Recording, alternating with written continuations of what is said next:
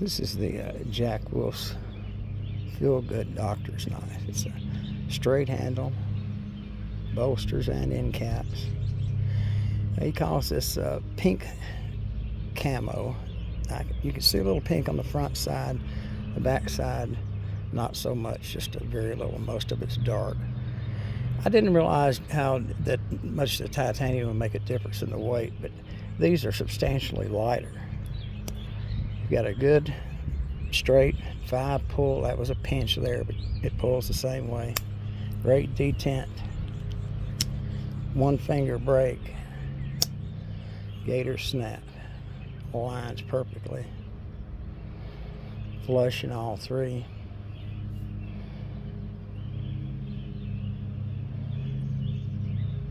Perfect size. And like I said, by being titanium rather than having a steel frame, it makes it a lot more pocket friendly, in, in my opinion. Ready to go. Brand new, just out for picks.